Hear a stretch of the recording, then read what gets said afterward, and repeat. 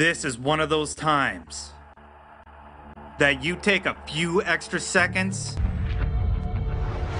and step back in awe. One of the classics, and with unlimited ammo, it's possibly the only weapon you would ever need. Some call it the BFG 9000 or the Big Force gun, but let's call it what it really is. It's the big fucking gun. And I may just lack the vocabulary to describe it better, but this weapon will kick an enemy's ass into next week. Hey Dwayne, where are you going?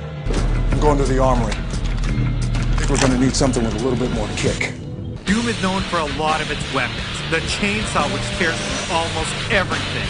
The plasma gun that fires blue balls of energy. The shotgun that does major damage at close range. And to many, Doom was the first FPS to introduce them to the rocket launcher. But in my opinion, the BFG is one of the best weapons ever introduced in video game history. The first time you got your hands on the gun in the original Doom, you knew you were gonna be sending some demons back to hell with style.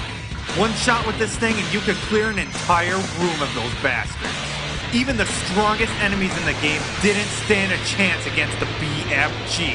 You fire this baby once into their gut and they would just melt into a puddle of gore. Some people only remember Doom because of all the controversy it caused, but all I remember is the first time I picked up that awesome weapon and owned every demon in the vicinity.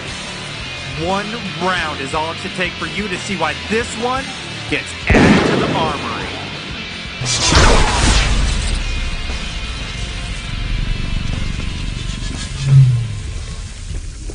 Holy shit. Oh, yeah.